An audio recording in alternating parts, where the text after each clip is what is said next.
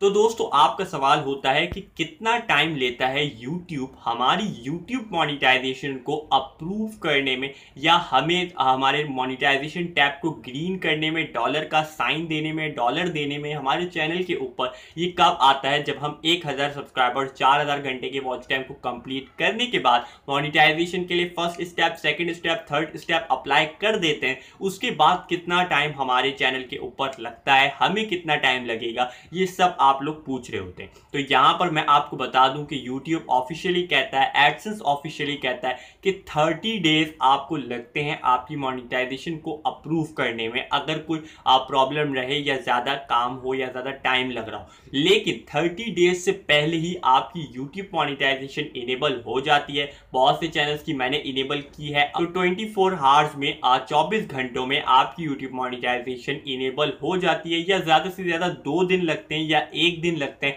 ऐसा भी हुआ है इवन टू आवर्स में, दो घंटों में, एक घंटे में भी मोनिटाइजेशन इनेबल हो जाती है। अब वो यूट्यूब टीम का है, कब आपकी एप्लीकेशन को रिव्यू करता है और आपके कंटेंट में अगर कोई प्रॉब्लम नहीं होती है तो वो जल्द से जल्द आपकी यूट्यूब मोनिटाइजेशन इनेबल कर देते हैं। तो आई होप आपको आज की ये वीडियो छोटी सी वीडियो क्लियर हुआ। आज जो आपको सवाल था, उसका आपको आंसर मिला। अगर आपको वीडियो पसंद आए तो लाइक करें, चैनल को सब्सक्राइब करें। मिलते हैं नेक्स्ट वीडियो में। नए टॉपिक के साथ, खुदा हाफिज़।